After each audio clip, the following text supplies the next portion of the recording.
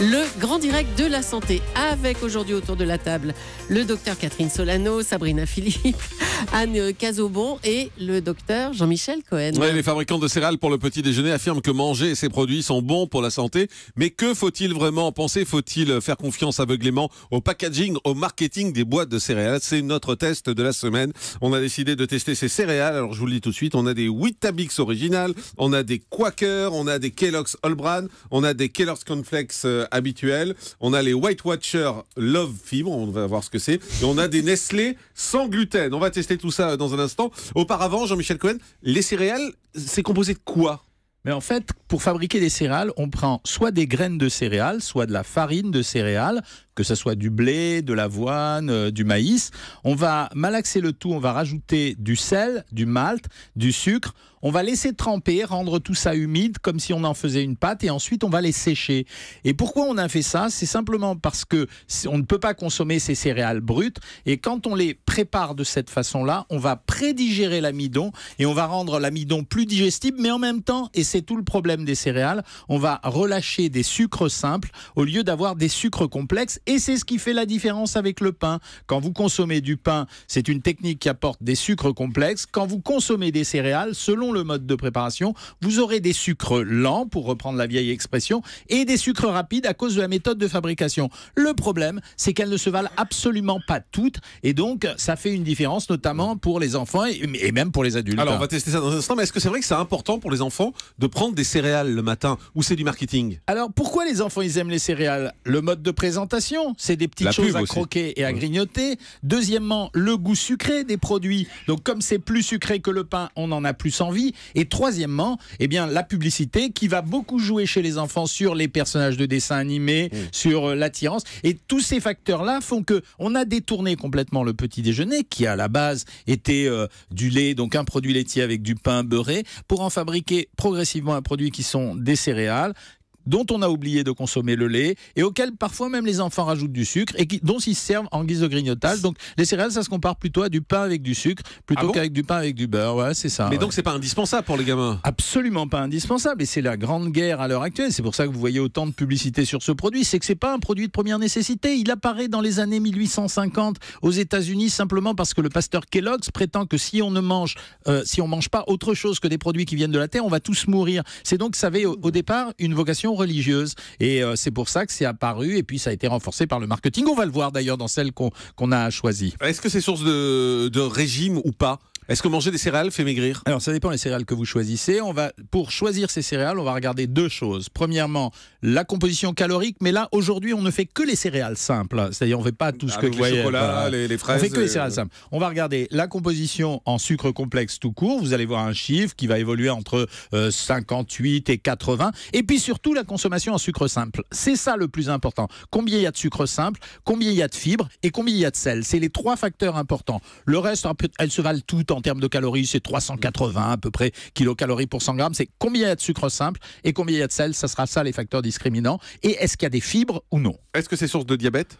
Alors, en partie, oui, parce que euh, quand vous prenez par exemple du pain complet, vous n'avez pas de sucre simple à l'intérieur. Quand vous prenez certaines céréales, vous allez le voir, même les céréales qu'on connaît le plus, c'est 8 grammes pour 100 grammes de sucre. C'est-à-dire que le diabétique, il s'empoisonne la vie à pas manger un petit bout de sucre, et puis il va prendre des céréales, et en fait, il ne sait pas qu'à l'intérieur de ces céréales, il y a des sucres simples. Alors, on va commencer euh, nos, tests. On va commencer avec le Weetabix original, 95% de blé complet. On est en train de la goûter. Alors, on les, goûte sans lait. Moi, j'aime bien goûter ça sans lait pour, pour, avoir euh, vraiment le goût. Moi, j'ai goûté ça, je trouve ça très bon. Franchement, c'est pas. grosses galettes, ça. C'est des grosses galettes. C'est pas des flocons. C'est des grosses galettes. C'est pas sucré et ça, a vraiment bon goût en Alors, Bien sûr, Jean-Marc, tout est biaisé par l'affaire du goût dans cette histoire parce que nous, on étudie la valeur nutritionnelle et c'est important que vous, vous dégustiez le goût et vous, euh, quand vous nous écoutez, essayez de vérifier. Alors, l'intérêt de ce, produit, les Weetabix, on fait l'inverse des Césars, c'est-à-dire qu'on nomme le premier. Le Weetabix, c'est un produit 360 calories pour 100 grammes, fait avec du blé complet. Il n'y a quasiment pas d'additifs dans ce produit, ni additifs, ni conservateurs,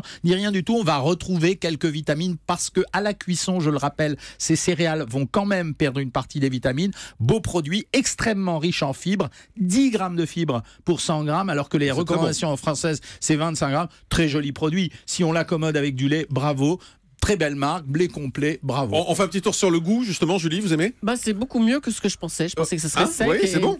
et sans goût. Et non, pas mal. Catherine? Moi j'adore parce que c'est croustillant en fait. Il y a des gens qui le mangent avec du lait, ça doit devenir mou, mais comme ça à sec, c'est délicieux. Oui, Tabix, amenez le camion, s'il vous plaît. Voilà, donc on rappelle ce que c'est? Oui, t'as dit que c'est au blé complet. pardon, pardon, pardon. Euh, alors après, euh, deux- deuxième paquet euh, qu'on va tester, c'est des Quaker Oats, euh, riches en fibres, source de vitamine B1 et de 3 minéraux. L'avoine contribue, tiens, ça c'est intéressant, l'avoine contribue à réguler le cholestérol, il y a écrit sur le paquet. Alors c'est c'est exact. Alors c'est donc je vous ai parlé tout bon, à hein. l'heure du pasteur Kellogg's, mais en fait Quaker Oats c'était le pasteur Grant. Ah. Donc euh, c'est pour ça qu'on a cette photo avec cet homme en chapeau, etc. Là aussi très jolie céréale. Ça veut dire 375 kilocalories pour 100 grammes. Euh, pareil, beaucoup de fibres, 9 grammes de fibres, mais c'est normal parce que c'est de l'avoine et que c'est de l'avoine. euh, ils ont gardé les résidus, ça veut dire qu'on a gardé les fibres. Donc très joli produit, euh, intéressant sur le plan nutritionnel. Si on et, et qui permet d'ailleurs de le sucrer, c'est-à-dire que quand ces produits comme celui-là par exemple qui contient seulement deux secondes, Julie, arrêtez Julie, laissez-moi le gramme, un, seulement un gramme de sucre simple pour 100 grammes, très joli produit. Voilà un produit qui est sain pour la santé. Donc Quaker Oats, bravo encore une fois. Oui, Ouais. mais ça, c'est à cuire. hein, C'est avec du lait chaud Non, et du pas sucre. cuire Mais du non, mais non, c'est qu'est-ce que vous non, non, racontez non, avec on laisse, on laisse, porridge. on laisse ramollir, on laisse Oui. ramollir. Dans le lait, on n'est pas obligé d'utiliser le lait chaud. Le lait chaud, c'est en général pour raccourcir l'opération. Ju- Juste, Donc, moi, j'ai- le moi, goût j'ai- j'ai goûté celui-là. En revanche, c'est pas craquant. Moi, j'aime pas parce que c'est pas craquant. En fait, c'est un es- une espèce de poudre qu'on a, mais en revanche, c'est bon. Voilà. Voilà. C'est mais, super bon, mais mais, c'est ce que je veux c'est pas souligner. craquant en revanche. C'est que on est attiré dans les céréales très fréquemment extrêmement fort par le goût sucré. Vous allez voir, c'est pour ça que c'est intéressant de commencer par celle-là, parce que quand vous commencez par celle-là, vous allez découvrir que vous aimez bien quand même les autres, mais en fait, ce que vous aimez dans les autres, c'est le sucre qui a été rejeté. Alors, Alors, là, on a repris... passe aux céréales, euh, au son de blé maintenant. C'est des All Brands, fibres plus. Alors là, il y a un slogan aussi qui est intéressant. Sentez-vous All Bran, je sais pas ce que ça veut dire. All, bra, all Brandement, bien en 5 jours. Ouais, ah bah, écoute, euh, voilà, encore une erreur de. Sentez-vous Olbranement bien en 5 Voilà. jours. Bon, Non, alors, les gars du marketing de chez Kellogg's. bien en 5 jours. Voilà. Ouais, ouais, bon, enfin, Ils ont euh, fait un adverbe avec la marque. Revoyez votre publicité là parce qu'elle est pas très bonne. On- Nous, on n'a rien Si. compris. Alors, il est un peu moins intéressant que les autres au niveau du goût, peut-être. Vous allez le voir. Par contre, très très Pas riche mauvais. en fibres alimentaires. Très très riche en, fibres en fibres alimentaires. 27 grammes, c'est le plus riche. C'est pour ça que je l'ai choisi. Vous savez qu'on a on un au problème aujourd'hui avec on les prend au fibres. petit-déj et on passe la journée aux toilettes. Quoi, ça Ben ouais, mais vous savez que c'est la journée du colon, Jean-Marc. On vient de le faire.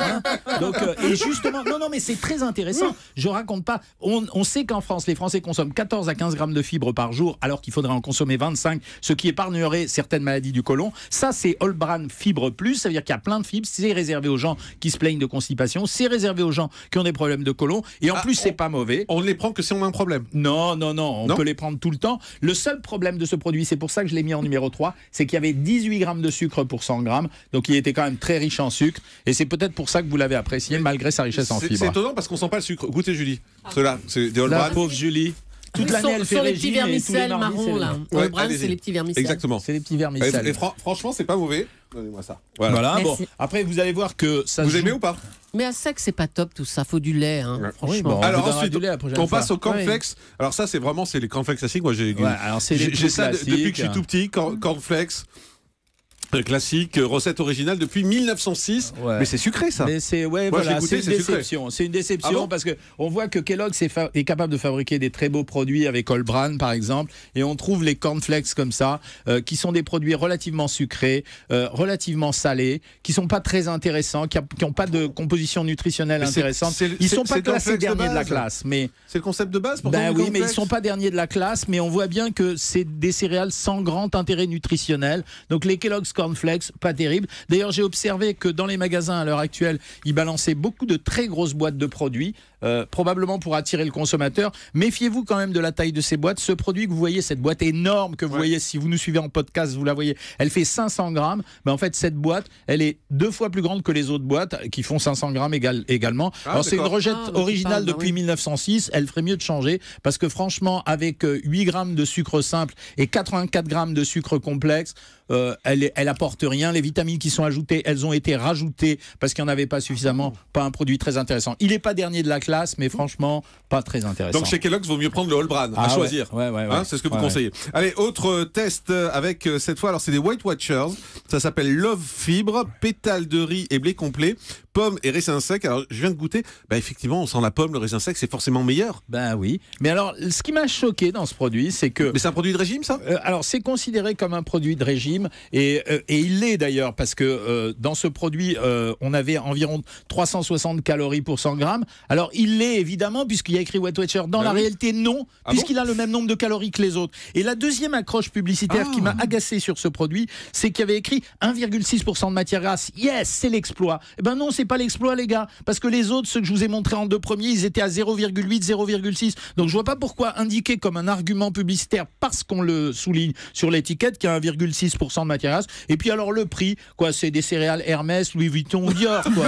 C'est, Ah, euh. Ça coûte combien gamme. Ça coûte combien par rapport aux autres Attends, je dois euh, voir le prix. Attendez, les, bougez les pas. Wet Watchers, 3,81 euros pour Ouais, c'est ça. 375 grammes. Les premières, les Weetabix, 1,79 Ah c'est-à-dire oui. quasiment moins de la Wow. moitié pour, Pour 430 500 grammes. grammes. Ah, 430. Franchement, les gars, c'est un peu cher payer le logo. Alors, euh, Mais- c'est pas mais- mauvais à manger, mais franchement, ça apporte Mais rien. juste, quoi. docteur, c'est pas régime du tout parce que moi, moi, pas- moi- non, non, moi, c'est pas spécialement régime. 1,6% de matière grasse, il y en avait moins dans les autres. Et les teneurs en sucre, on avait des teneurs en sucre qui étaient extrêmement faibles dans les autres. Bien sûr, les autres étaient faites avec des blés complets. Mais je, je vois pas, on n'avait qu'à nous vendre le goût à ce moment-là. Et nous dire c'est un super bon produit parce qu'il y a des raisins. Il est bon, parce voilà, qu'il y a- parce qu'il y a des raisins, il y a des ouais, pommes. voilà, mais, mais c'était c'est pas meilleur. et il était classé dans le rayon des céréales simples. Donc ça voulait dire qu'ils essayaient de toucher un marché. Donc je- j'aime pas ça. C'est le principe ne me plaît pas. Alors, on continue cette fois, c'est des Nestlé. Alors, je connaissais pas ça, tiens. Ah Des, ben, non, des non, sans gluten. Nestlé plus. sans gluten, cornflakes. Alors, ce qui m'a fait rigoler dans l'histoire, c'est que vous savez que le gluten, c'est très à la mode. Bon, la mode est en train de passer quand même parce qu'on en a tous un peu ras-le-bol de manger sans quelque chose. hein. Franchement, ça commence à Oui, nous saouler, sans gluten, sans lactose, sans bidule, sans machin. Mais là, écrire pour des céréales à base de maïs que c'est sans gluten, on sait bien que le maïs, c'est un des aliments que choisissent les gens qui mangent sans gluten. Alors, certainement, ce qu'ils ont fait pour ces céréales, c'est qu'ils ont pris le cœur euh, de, de la- du grain de maïs, Ouais. c'est-à-dire qu'ils ont pris l'amande de maïs pour le faire, pour pouvoir écrire sans gluten. Mais dans les autres, pour faire plaisir à notre copain Kirzek, les autres, ils sont quasiment toutes celles à base de maïs, elles sont quasiment gluten light. Donc là, indiquer euh, sans gluten, c'est une façon de renforcer du marketing. Pareil, encore C'est une fois. super bon, hein. Ouais. Ah, honnêtement, Mais non, ça, elles sont bien sûr. salées, celles-là. Bah oui, c'est bon, j'aime bien. non, mais euh, Oh là, pourquoi elles sont c'est super bonnes, Jean-Marc? On a 9 grammes de sucre pour Ah, 100 bah oui. grammes. On a 82 grammes de glucides. Les matières grasses, c'était pas mal. La composition nutritionnelle était correcte hein, du produit. Ce que j'ai pas apprécié dans ce produit, et ça, il faut stigmatiser ce genre de choses, c'est une publicité renforcée pour pas grand-chose. Conclusion, quand vous prenez des céréales, ben finalement, observez notre classement, Jean-Marc. Numéro 1, Weetabix, 2, Quaker Oats, 3, Kellogg's All Brand, 4, Kellogg's Cornflakes, 5, Wet Watchers et 6, Nestlé. Et puis, si vous en avez des nouvelles, envoyez-nous un, petit message sur hashtag Europe 1. Effectivement. Merci beaucoup, docteur Jean-Michel Cohen, pour euh, ces tests céréales toutes les semaines. Dans ce grand direct de la santé, on teste un, produit du quotidien. Et puis, vous l'avez vu, on vous donne les prix, on vous donne les marques et on vous donne notre avis en toute liberté. C'est ça, le grand direct de la santé. On est les seuls à faire ça. Et on en est fiers. À tout de suite sur Europe.